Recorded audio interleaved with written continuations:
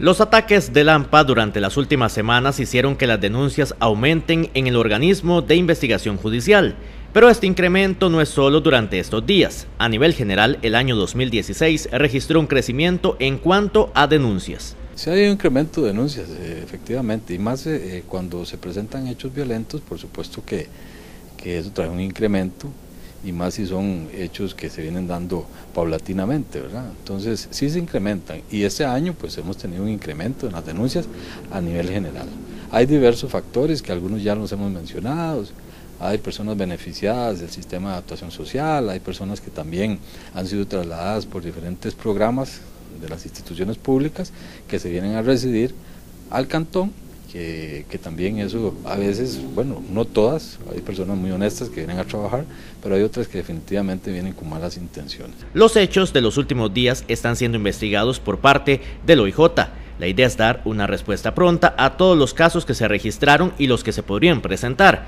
Además, buscar la mayor cantidad de pruebas en contra de los supuestos protagonistas. Ya ese proceso está en investigación. Estamos estableciendo políticas de persecución criminal, eh, por supuesto con fiscalía, con seguridad pública y eh, para darle una, buena respuesta a la ciudadanía también. Esa es la obligación nuestra.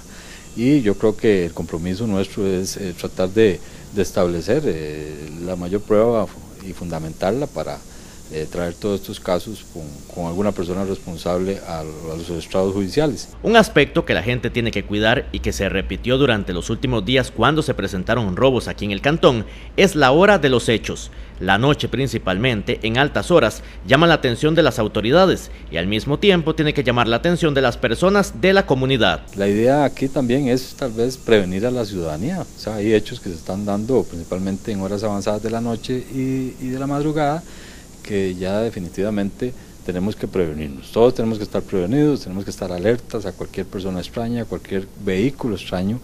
Yo creo que para eso hay líneas eh, eh, confidenciales dentro de las autoridades policiales, tanto el 911, que es pleno colaborador en ese sentido, como la línea 808.645 del OIJ, que son líneas donde la ciudadanía puede estar reportando cualquier hecho extraño que, que, ellos observen en sus comunidades. Las personas tienen que estar vigilantes y ver cualquier característica o movimiento que pueda ayudar a dar con algún sospechoso así como vehículos, que es muy importante, las placas, las características de los vehículos que nos los estén suministrando. Y también, por supuesto, que si hay personas extrañas en algún lugar o bien personas que están llegando a residir algún barrio con connotación eh, totalmente diferente a la que normalmente vemos en Pérez de León, eh, pues definitivamente yo creo que hay que reportarlas. Y tal vez nosotros hacer las investigaciones correspondientes a ver eh, o a conocer para conocer que, eh, por qué razón están llegando al, cantón